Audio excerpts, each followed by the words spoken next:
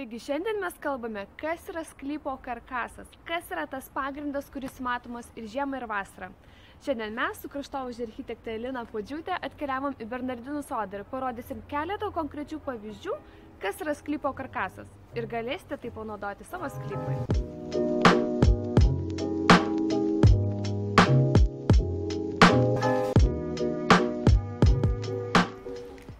Gal galėtumėm pereiti tada kiekvieną dalyką atskirai ir pailiui. Taip. A, visų pirma, reiktų gal supaprastinti tą terminą karkasas. A, karkasas, kitaip tariant, yra atitverimai arba sienos. Ne? A, tai kaip ir namuose turime sienas arba kažkokius tai barjerus, taip ir kieme mes visą tai galime turėti tam, kad galėtumėm suvaldyti erdvę, tai yra tą sklypą, su kuriuo iš tikrųjų ir kūrėme tą naują galbūt dizainą. Taip, sakyčiau, dar sunkiausia, kai sklypas tuščias yra ir nuo nieko atrodo reikia pradėti. Taip, tai vad iš tikrųjų pradėti jį reiktų, kaip ir statyboje, tarkim, namo mes pradedam nuo sienų, taip ir būtent kieme mes turime pradėti nuo karkaso arba kitaip tariant nuo sienų. Pirmas atitverimas gali būti iš a, žemesnių tvorelių. Čia Bernardinų sodė yra padarytos pakankamai nedidelės tvorelės, a, dažnai jos siekia tik tai truputėlį aukščiau negu mūsų keliai, bet tai yra labai aiškus segmentas, nurodintis arba žmogui krypti, arba tiesiog sudarantis tam tikrą formą. Galite pasižiūrėti, kaip tarkim puikiai tai yra panaudota štai čia.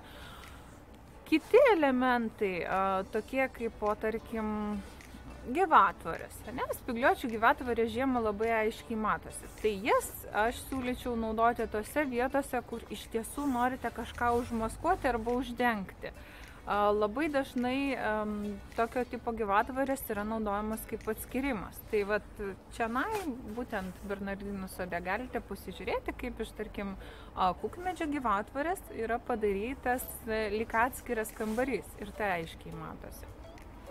Taip pat e, yra panaudoti mažesni atskirimai. Jie yra padaryti iš e, buksmedžio, karpamo buksmedžio gyvatvorės ir tie prieminimai tiesiog duoda tam tikrą aiškę formą e, būtent pačiam um, kūriamam tam želdynui.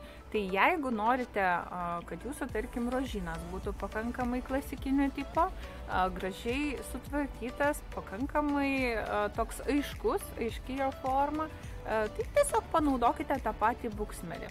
Atkreipkite dėmesį, Bernardino sode buksmedžiai, ypatingai tie, kurie nėra užpavėsintose vietose, yra apdengti su tokiais tinkliukais. Tinkliukus galima naudoti tam, kad tiesiog buksmedis a, saulėte labai žiemą neapsiviltų ir na, nenuruduotų.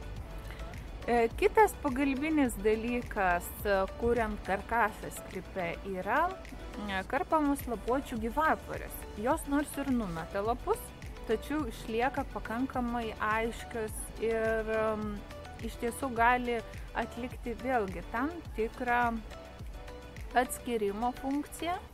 Jas galite naudoti tose vietose, kur, na, tarkim, netgi jeigu ir persišvies kažkiek tai šalia esantis fonas, jisai jums netrukdys. Kitaip tariant, už tokio tipo gyvatvorės turėtų būti vis tiek pakankamai gražus ir estetiškas vaizdas.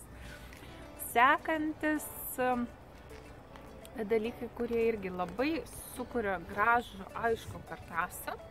Ir dažnai yra naudojami tose vietose, kur yra didelis sklypas, yra medžiai. Ir netgi lapuočiai medžiai gali tarnauti kaip tam tikras karkasas, tiesiog norint šiek tiek valdyti pačią erdvę. Čia Bernardinų sodė jūs matote puikius pavyzdžius iš, tarkim, dekoratyvinių obelų, kurios puikiai aprėmina jau kūriamą kambarį. Ta efektą galite naudoti e, tuo metu, kai, tarkim, turite terasą ir norite terasą lyg šiek tiek atskirti nuo praėjimo, pavyzdžiui. Ir paskutinis, bet ne ką mažiau naudingas elementas yra žoliniai augalai, daugiametės gėlės. Iš tiesų, kai kurios gėlės puikiai išlaiko savo žiedynus, netgi ir žiemą. Ir e, netrukus jūs visą tai pamatysite, čia yra um, astilpių žiedynai išsaugoti, tuos pačius šilokus mes matome. Taip pat siauralapiai žolynai, uh, tokie kaip pamiskantai, gali būti naudojami. Turėkit minti, uh, jeigu gėlė gražiai uždžiūva, nėra labai daug sniego, šlapdribos ir žydinai laikosi, tikrai jų nekirpkit, nes jie paįvairins visą tą kompoziciją. Jie gali tarnauti ir kaip atskirimas, ir kaip papildymas žieminiam kompozicijom, tai yra labai svarbu, nes, na, iš tiesų, sutikit su manim, žiemą yra pakankamai mažai augmenijos, kurią mes matome. Todėl kiekvienas žiedas yra svarbus.